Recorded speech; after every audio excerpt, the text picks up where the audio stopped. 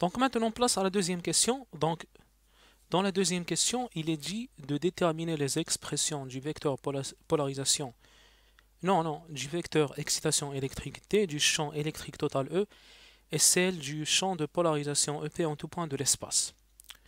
Donc, afin de déterminer l'expression du vecteur excitation électrique T, eh bien, tout simplement, on va appliquer le théorème de Gauss sur ce vecteur excitation électrique T. Donc, euh, c'est très simple parce que ce, vecteur excitation électrique D ne tient compte que des charges libres. Il faut savoir qu'on a, donc je vais, je vais dessiner ça en vitesse, on a un diélectrique LHI creux, ok? Et à l'intérieur, on a un fil conducteur infini de densité lambda supérieure à 0.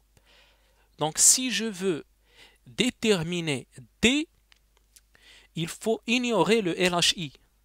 Parce que D ne tient compte que des charges libres. Que des charges libres.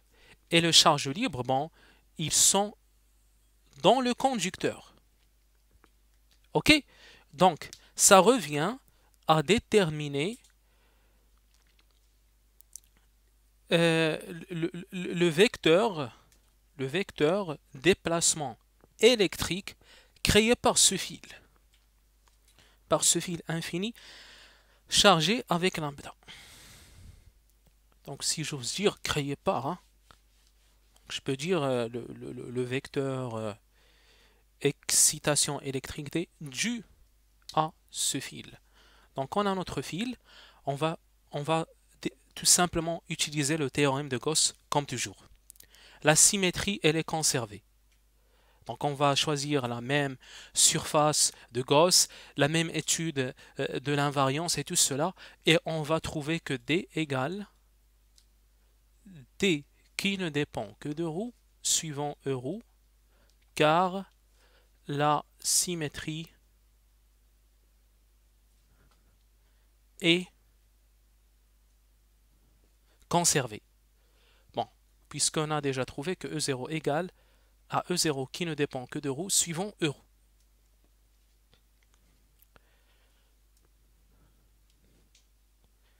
Voilà. Donc, on va appliquer le théorème de Gauss appliqué à D. Le théorème de Gauss appliqué à D nous dit que le flux de D, donc à travers une surface fermée, la surface de Gauss, égale à la somme des charges à l'intérieur de la surface de Gauss. Donc il ne tient compte que des charges libres et pas du milieu. On va choisir toujours un cylindre pour la surface de Gauss. On va déterminer ce flux. C'est à peu près, c'est le même calcul précédent. Donc je vais dire comme ça D scalaire.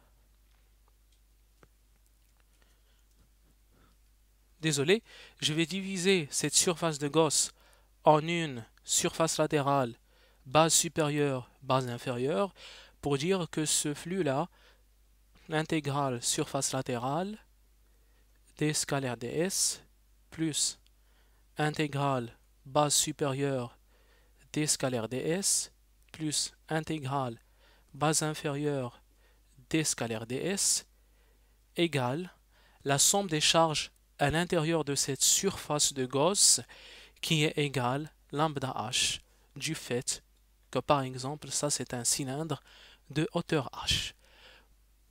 Base, ça c'est la base supérieure, ça c'est la base inférieure, la normale supérieure et ici G normale inférieure et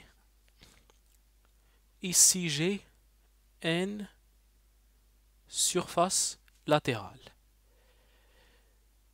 Ici pour d scalaire ds, donc ici je vais faire ça surface latérale, base supérieure, base inférieure. Ici ds, base supérieure. D comme vous voyez, suivant euro. Euro, il est parallèle à cette normale supérieure. Donc je vais avoir ici égal à 0. De même ici égal à 0 pour trouver cette expression. Donc double intégrale surface latérale t scalaire ts surface latérale égale à lambda h. Je vais développer un petit peu ici pour écrire. On peut faire les choses vite, mais je développe pour que vous voyez bien les choses.